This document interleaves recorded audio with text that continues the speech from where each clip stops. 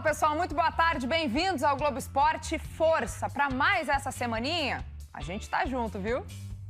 Olha só, amanhã é decisão para os colorados. Encaram o 9 de outubro do Equador no Beira Rio em busca da única vaga do grupo na próxima fase da Sul-Americana.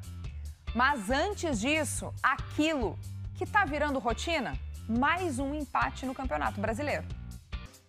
Durante o primeiro tempo de Cuiabá e Inter, torcedores do time da casa, do Cuiabá, gritaram cânticos homofóbicos para o Mano Menezes, tipo de comportamento nos estádios.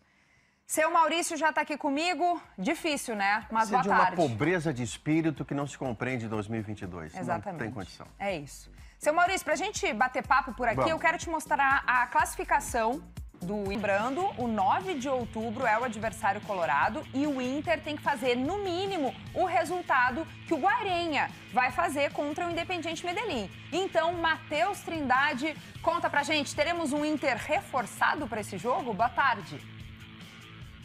A missão do Juventude era parar o poderoso Palmeiras. E deu ruim, viu, gente? Bem ruim. Voltamos com a Copa do Brasil. Sim, também teve jogo no fim. A oitava rodada da Série B terminou ontem. Vamos ver como é que ficou a classificação. Título na Recopa Gaúcha.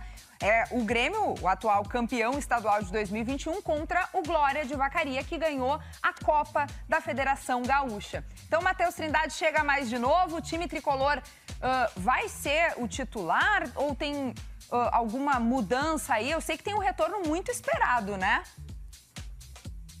Hoje é o Ipiranga que recebe o Remo no estádio Colosso da Lagoa.